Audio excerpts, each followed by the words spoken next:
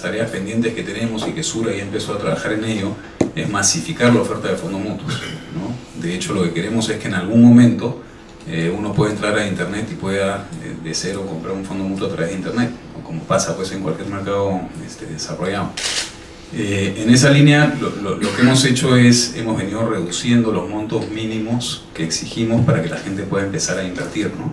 Empezamos hace varios años con un ticket mínimo, de, la gente puede invertir a partir de 5.000 soles, después en el grueso de los fondos es 2.500 soles, y ahora tenemos este programa de ahorro recurrente en el cual tú puedes invertir a partir de 30 soles todos los meses.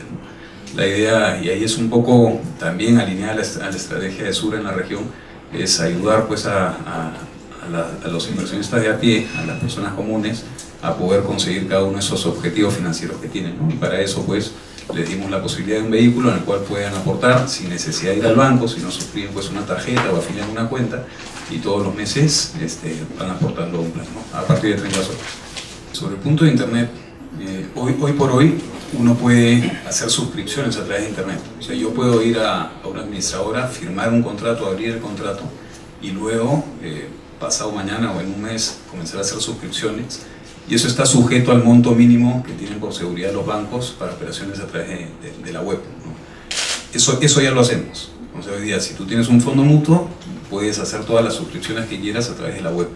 Eh, lo que no existe es que en el, en el, reglamento de fondos mutuos se habla de eh, la contratación remota. ¿ya? ¿Y a qué me refiero con eso? Que tú estás ahorita en, no sé, Juliaca y quieres abrir un fondo mutuo, no eres cliente de fondos mutuos y bajas a través de la web un contrato, lo firmas digitalmente y eso te permite pues, ser partícipe y a partir de ahí comenzar a operar. Entonces a lo que me refería es a la contratación remota. Eso es algo que sí está eh, dentro del reglamento de fondos mutuos eh, y que probablemente vamos a trabajar este año en sacarlo adelante, ¿no? porque un poco eh, lo que nos ha pedido el regulador ahí es, nos ha dicho sí lo puedes hacer, pero tus protocolos tienen que estar este, bastante similares al protocolo que tiene el mercado de Estados Unidos, por ejemplo. Entonces es un tema de simplemente seguir analizando la norma en Estados Unidos, traer algo parecido acá, adecuarlo al, al mercado local y hacerlo, ¿no? pero probablemente hacia finales de año espero que lo podamos hacer.